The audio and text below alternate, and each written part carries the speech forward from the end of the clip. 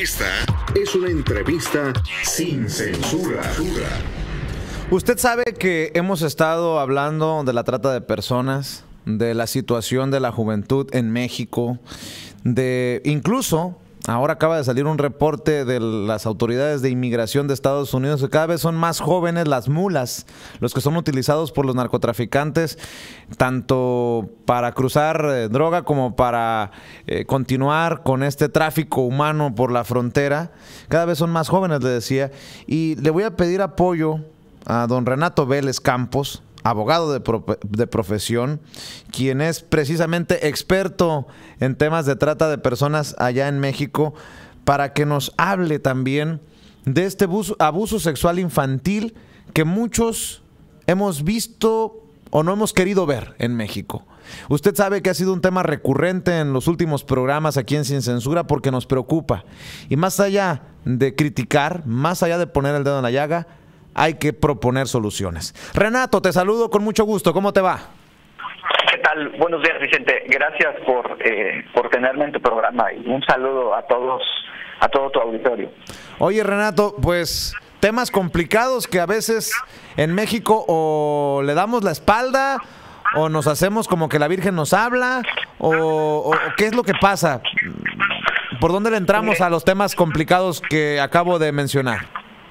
Mira, sí, definitivamente son temas complicados y se vuelven más complicados por la manera en la que al día de hoy los hemos abordado. evidentemente, mientras tú y yo estamos platicando a lo largo y ancho del territorio nacional de, México, y obviamente es un problema a nivel mundial, eh, los datos por allí indican que eh, después del narcotráfico y el trasiego de armas, la trata de personas es el tercer negocio ilícito más lucrativo a nivel mundial.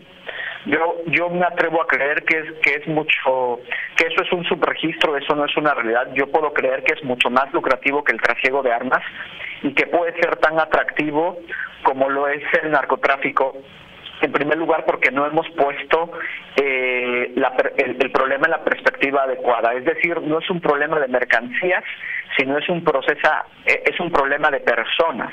Es decir, el, el objeto con el que se negocia no es una mercancía, sino una persona. Cuando nosotros comprendamos eso, habremos dado un paso muy importante. Eh, con esto te quiero decir que el problema, el, el, el problema el problema con el problema es de perspectiva. Es decir, en México seguimos hablando de la carencia de leyes, seguimos, eh, queremos hacer prevención habiendo aprendido de las experiencias de las víctimas. Eh, cuando hablamos de trata de personas, en automático imaginamos a estas, en, automático imaginamos a estas chicas dentro de un bar, paradas en una esquina, obligadas a prostituirse. La trata de personas, si bien es eso, hay mucho más detrás. Claro. Y, y, si bien, eh, eh, como tú decías, tengo experiencia y conozco el tema, eh, el, la parte eh, más triste es la desatención que tenemos para con la niñez. ¿Por qué razón? Porque evidentemente eh, es muy crudo lo que voy a decir, pero es que no hay no hay eh, no, hay partes bonitas alrededor del tema. Pero evidentemente una mujer eh, que es puesta en una situación de explotación sexual forza, de explotación sexual en una esquina eh, tiene incluso, aún a costa de la propia vida, la opción de decir basta, hasta aquí. Y es muy, eh, eh, el, auditorio que me escucha puede decir, está loco, ¿qué le pasa? No entiende que son personas así, sí lo entiendo. Pero una comparación con la niñez, el niño no tiene un cerco de defensa. Claro.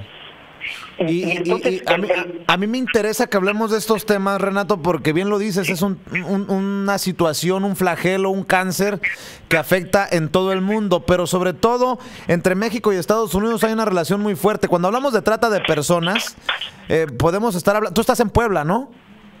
Eh, sí, yo hago más en la ciudad de Puebla, es correcto. te digo porque ahí cerca está Tlaxcala, eh, incluso para los poblanos en Nueva York, para la, gente que sabe que hay una trata de personas, hay un tráfico humano, un tráfico sexual entre estas comunidades y eh, ciudades importantes acá en Estados Unidos. Por eso me importa cuando hablamos de adultos y cuando hablamos de, pequeños, pues ya, ya te voy a ir contando eh, en el transcurso de esta conversación porque pues desafortunadamente son situaciones que, que tenemos que abordar en todos los campos, desde el político hasta el familiar.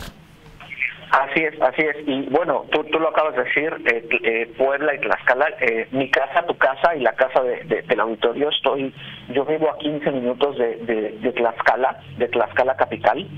Este, y, y efectivamente hay un, hay un serio problema eh, en México que si tú analizas las rutas del, del tráfico de personas y la trata de personas son rutas que vienen desde Argentina, cruzan todo el continente y evidentemente llegan a los Estados Unidos. Pero mira, el tema de la niñez es muy importante porque hemos desatendido eh, a la niñez, hemos dejado, eh, más bien no hemos enseñado a los niños que son acreedores a derechos y responsabilidades, eh, no les hemos dejado por, por, los retos diarios de la vida, porque hay que llevar el alimento a la mesa, porque hay que mejorar la calidad de vida. En México estamos viendo un serio problema social donde la aspiración del niño, la aspiración del padre de familia es ponerlo en el colegio más caro, tener el carro más caro, eh, que, el niño venga con la ropa mejor vestida, que traiga el mejor teléfono celular, el niño que tenga el juguete de moda, que puedan planear las mejores vacaciones. Y siempre, no importa cuál sea tu estrato social, estás buscando eh, eh, siempre dar un paso adelante, mejorar, entre comillas, tu calidad de vida anteponiendo lo más importante, el tiempo que necesita el menor, el tiempo de convivencia que necesita con el padre y con la madre. Ese es el lugar donde tú generas el primer, eh, eh, el primer eh, cerco de seguridad alrededor de un menor. Porque en, primer lugar, el niño no necesita aprender definiciones, al, niño no necesitas enseñarle qué es autoestima, qué es amor, como, como te lo revela el diccionario pero el niño a través de la intuición y a través de sentirse amado y protegido por aquellos que tienen la, responsabilidad y el derecho de amarles primariamente, eh, el niño no va a tener que andar mendigando ningún afecto. Fuera Oye, Renato, tú enseñas a padres y madres de familia, personal docente, niñas y niños sobre la prevención del abuso sexual infantil y me llaman mucho eh, algunas de tus publicaciones por los títulos son verdaderamente eh, interesantísimos. Abuso sexual infantil, estrategias para prevenirlo, detectarlo y hablarlo. No es suficiente con decir no hables con extraños, porque eso es lo que nos han enseñado. Los, los padres creemos que con que el niño no se le, con que el niño llore o no se le acerque un extraño, ya con eso, con que no hable con extraños, ya está protegido y no. Y otra cosa, de eso no se habla, pero claro que se tiene que hablar, Renato. Sí, así es. Bueno, en, el tema de no es suficiente con, con decir no hables con extraños, eh, la realidad es que todos los días nosotros tenemos conversaciones con extraños. Entonces, eh, eh, el cajero del banco, el cajero de la tienda, eh, el, en fin, todos los días tenemos una conversación con extraños. Entonces nosotros tenemos que enseñarle a, los niños así efectivamente a hablar con extraños, pero generar una serie de reglas de seguridad que, mediante las cuales la, la comunicación entre el, el menor y las y los adultos o los jóvenes sea, sea una educación, eh, sea una conversación en la cual no necesariamente, porque no en todas las conversaciones o en todos los procesos de comunicación se tiene que generar un vínculo afectivo. Debemos de entender que el niño ama a aquel eh, el, niño decide a quién amar, el niño decide con quién vincularse y cuando lo tenemos desde brazos, el niño recibe amor de aquellos, eh, eh, de aquellos que son amados por el niño. Oye, Renato, Renato, además se me, suena esto de no hables con extraños. Bueno, muchos de los verdugos, de los agresores sexuales están muchas veces ahí, en nuestra familia, son gente conocida, nuestros vecinos, qué sé yo. También eso hay que entenderlo, ¿no? Bueno, sí, eh, eh, es que eh, efectivamente, la, hablando de la violencia sexual doméstica, efectivamente, más de en, México la estadística indica, y es una estadística, entendamos lo siguiente, América Latina es la región más violenta en estos momentos del mundo. Pueden haber unos picos o algunas depresiones en, las estadísticas, pero eh, son muy similares los datos en América Latina y México. Más del 70% de los niños que son violentados sexualmente son violentados por un familiar muy cercano el padre, el padrastro, el abuelo, el tío, el primo, el hermano mayor, la madre, la madrastra, la tía, la prima. No es un tema exclusivo en el cual el género masculino invade al género femenino puede ser género masculino a género masculino o bien mujeres a hombres. Este, entonces, eh, no, no escapamos en ningún momento de este tipo de violencia. Una de cada tres mujeres, antes de cumplir los 18 años de edad en América Latina, en México, es víctima de una agresión sexual que deja una secuela de por, eh, de por vida. Oye, Renato, hace, hace, hace un, perdón, perdón, antes de que me hables de los varones, hace unos días mencionaba que cada año en México se están dando por lo menos 400 mil embarazos adolescentes. Y estamos hablando de niñas de 10 a 16 años de edad. Y si alguien se mete con una niña de 10 a 16 años de edad, se llama violación. Punto. No le busquemos eh, adorno a esta situación. Es, una perspectiva interesante. Si te das cuenta, detrás de cualquiera de estos temas hay un par de palabras, sexo y sexualidad. Sí. Y tenemos una carencia terrible en este momento en, en México. Eh, es un tema, finalmente es un tema cultural porque hemos confundido educación con información y entonces eh, hay una hay una hay una crisis en la apreciación de la valía de lo que representa la, correcta educación sexual. Eh, si tú eh, cualquier chico cualquier persona que nos está escuchando a un clic de mouse tiene toda la información sobre sexualidad en estos momentos. No necesita ir a la escuela no necesita un tutor como lo necesitamos hasta los años 80 90 bajos no entonces, eh, eh, eh, evidentemente tenemos un problema de estructura en, y, y, de crisis en la educación y obviamente en la educación sexual. Debemos de entender lo siguiente, educación no debe ser más sinónimo de información, educación debe ser sinónimo de relación. Eh, nuestra cultura nos ha obligado a llevar a los niños a la escuela y decirle al maestro, maestro aquí se lo dejo, usted edúquelo. El niño va a la escuela a ser letrado, a ser academizado, a ser alfabetizado la educación la generamos en casa y para generar educación en casa los padres necesitamos invertir tiempo en nuestros hijos. Los hijos no son negocio, los hijos son la mejor inversión de la vida. Los hijos son la materia más la materia prima más importante que tiene el planeta. Y, y, requieren tiempo. Todo requiere tiempo en la vida. Eh, eh, pero nuestros hijos como nada requieren tiempo. Queríamos hijos, bueno, pues ahora tenemos que atenderlos, ahora tenemos que jugar con ellos, ahora tenemos que ir al parque con ellos, ahora tenemos que invitar a los amigos a casa y que jueguen en casa con ellos. Vamos a tener que gastar más, sí. Uy, no, mi querido Renato, ahorita te están, perdón por decírtelo, te están mentando la madre eh, muchos paisanos porque dicen, yo tengo que trabajar tres turnos porque mm, tengo que llevar el, plato de comida a la mesa de mi casa acá en Estados Unidos, eh, pues no, están equivocados. Creo que eh, más allá de un teléfono último modelo o de una computadora portátil, lo que necesita es lo que estás diciendo, Renato, tiempo. Eh, que mira, hay, hay cosas que se pueden resolver, que podemos resolver. Podemos acompañar a nuestros hijos hasta el paradero del bus, podemos llevar a nuestros hijos hasta la puerta de la escuela, podemos... Eh, eh, eh, es, es ridículo pensar que nuestros hijos pueden madurarse como palomitas de microondas. Sí. Es ridículo. Qué duro, qué duro, qué, duro les estás tirando a muchos, ¿eh? Mira, Nos estás tirando a muchos. Mira, lo, que pasa es que tú de mencionar algo muy importante.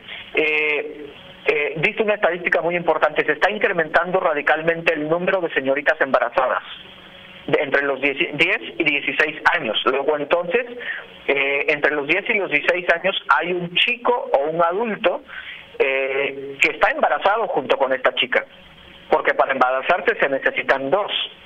Y entonces resulta que yo soy padre de una chica que tiene 12 o 14 años, yo lo vivo eh, no constantemente, pero, pero sí de forma común en Puebla, atiendo algunos casos, así les damos seguimiento.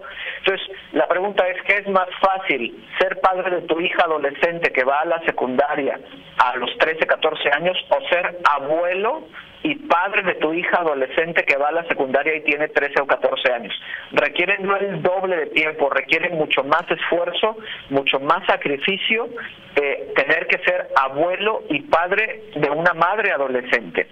Y la realidad es que nuestros hijos hoy están tomando decisiones eh, eh, que nosotros como adultos tuvimos que esperar a los 18, a los 20, a los 25 años eh, para, para volverlas una realidad. Hoy nuestros niños a los 9, 10 años de edad se están preguntando por qué el, el condón no les ajusta.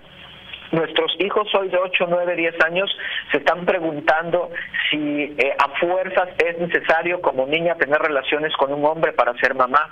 Se están preguntando si el sexo anal las puede dejar embarazadas o si el sexo oral las puede dejar embarazadas. Esas son preguntas que nuestros hijos están haciendo y se las están haciendo no porque quieran la información, sino porque están tomando decisiones.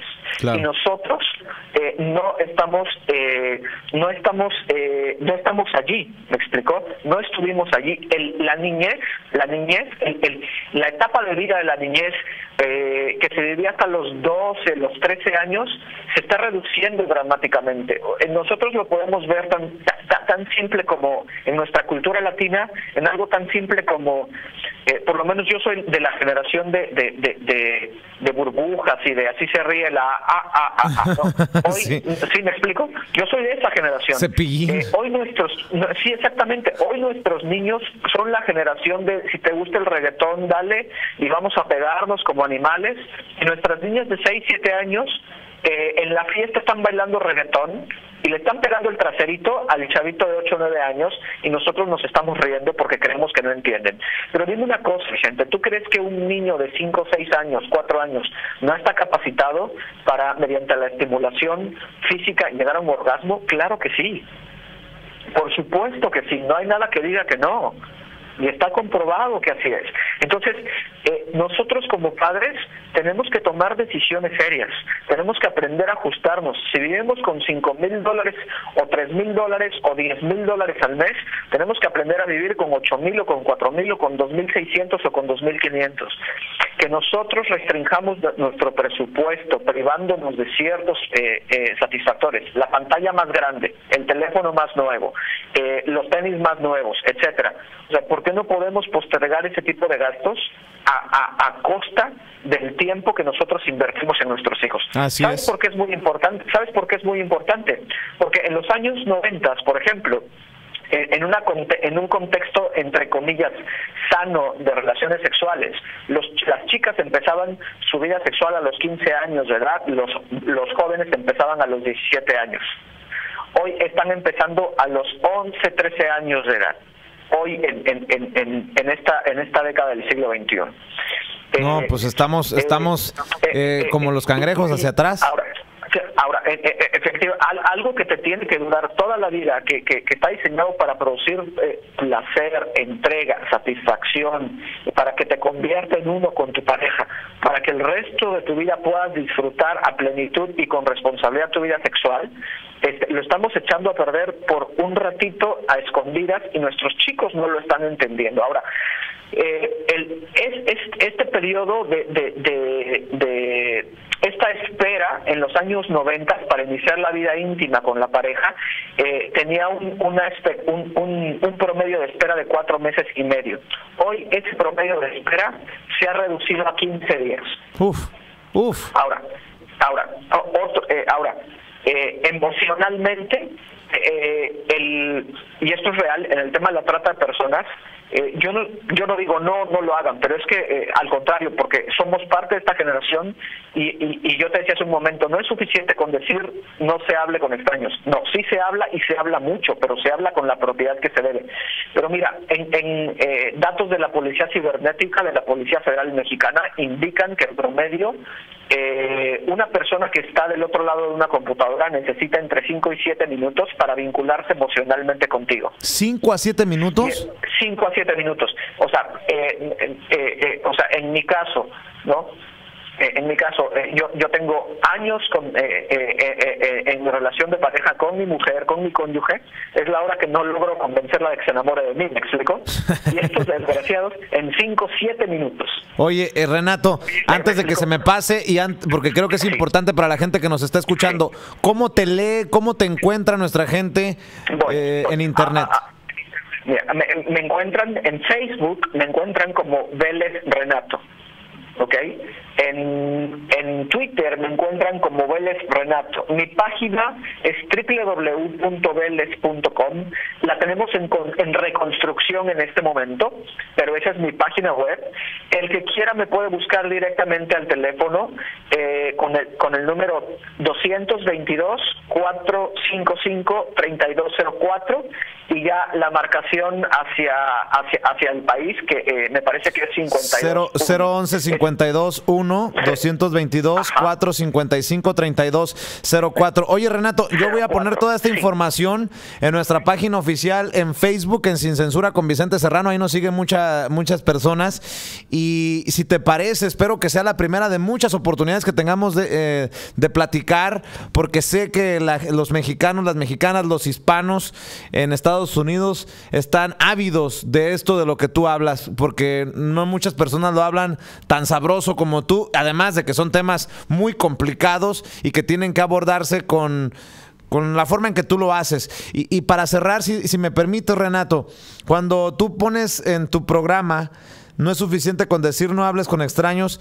Hay que decir lo que es una guía, un programa de prevención de trata y desaparición de menores. ¿Qué tan grave es esta situación en nuestro México lindo y herido?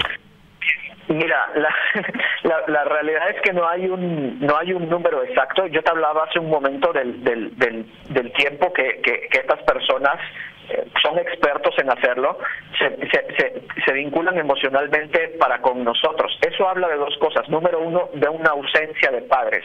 Eh, eh, hay una industria detrás de esto. Ya no hay un robachicos, un carretonero empujando, hay fierro viejo en la esquina, ya tiene suficientes problemas. No es así.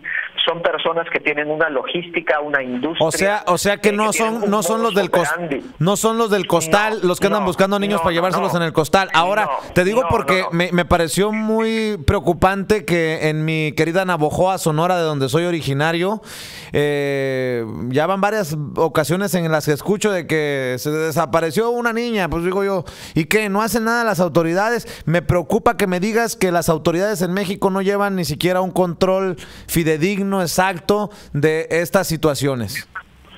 Lo, que pasa es que debemos, mira, debemos entender lo siguiente. En Estados Unidos hay, eh, por ejemplo, en Estados Unidos existe la alerta Amber, hay programas al respecto. Eh, el reto que representan nuestros hermanos mexicanos y toda la comunidad y toda nuestra comunidad hermana latina en los Estados Unidos, pues es muy fuerte porque no están allá de, de a gratis y, y, ahora hacen de Estados Unidos, si era una gran nación, construyen una nación aún más grande. Pero tienen que entender que la grandeza de un país radica en, la, en el afecto de nuestros hijos por la tierra en la que están, en el afecto que existe en la familia, en la solidez familiar. Si no, no hay, no hay nación grande. Y lo mismo tenemos que entender en México. Evidentemente hay una crisis en la, en la estructura gubernamental eh, en, los tres ámbitos de gobierno, municipal, estatal y federal, pero también hay una crisis social y la responsabilidad no solamente es de la autoridad, es de nosotros como padres, porque tiene razón el policía cuando viene y dice, ¿y usted como padre dónde estaba? ¿Por qué no lo estaba cuidando? ¿Qué estaba usted haciendo? ¿Me explicó? El, policía también tiene razón en ese sentido. el área de, fiscalía de investigación, en ese sentido también puede decirnos, sí señora, usted estaba pintándose las uñas o viendo la novela y su hijo solo corriendo en el parque. Claro. Era lógico que se lo iban a atropellar, que se lo iban a robar, que se lo iban a golpear. oye, Renato. La imagen de defensa no está allí. Me dice mi, compañera Cecilia Vega que eh, tú ofreces talleres y pláticas de prevención. Así es. ¿Por qué no armamos uno acá en Estados Unidos cuando te, te parezca y, así pues, seguimos eh, pues, con este pues, compromiso? yo he encantado la vida, ustedes me dicen a qué hora cojo el avión y allá nos vemos. este, eh, de verdad, mira, pero regresando al número, hay un subregistro, se habla, eh, desde hace 10, 12 años se habla de, de números que pueden ser irreales eh, y que se han tratado de matizar, pero mira, basta con que un niño se pierda. Eh, hay una nota por ahí del 2013 de la Secretaría de Gobernación y del Programa de Naciones Unidas para el Desarrollo que indica que para el 2013 se reportaron 70 mil niños desaparecidos en México para adopción ilegal, para explotación sexual, para utilizarlos como mulas, eh, para explotación laboral en la industria y en el campo, en fin, para, para eh, incluso para la muy polémica y discutida eh, tema de eh, tráfico y donación de órganos. Pero cualquiera que sea el caso, el número, basta con que solamente un niño, un niño, se encuentre desaparecido para considerar que estamos viviendo un país indigno, porque los niños no pudieron venir, nosotros los trajimos. Puede ser que hayan sido planeados o por un error o una calentura, pero ellos no pidieron venir. Y lo mínimo que nosotros podemos y debemos hacer es pensar que lo que nosotros estamos haciendo repercute en ellos. Y lo vamos a pagar tarde o temprano cuando nuestros niños crezcan y se conviertan en, adultos y por no haber estado allí sean mezquinos, eh, eh, eh, abandonen a sus hijos y como abuelos estemos viendo que nuestros nietos están sufriendo y nos vamos a dar de topes. Bueno, vamos a hacer una cosa, Renato. Si te parece, te, te buscamos nuevamente muy pronto para que hablemos de bullying, porque sé que también tienes algunas publicaciones en torno al acoso de los muchachitos y bueno pues estaremos platicando de eso muy pronto. Y por lo pronto deja eh, por lo pronto déjame buscarlo de los boletos de avión y, es, es, en serio eso eh tienes que venir a Chicago muy pronto Sí, por supuesto. Yo encantado de la vida estar en Chicago.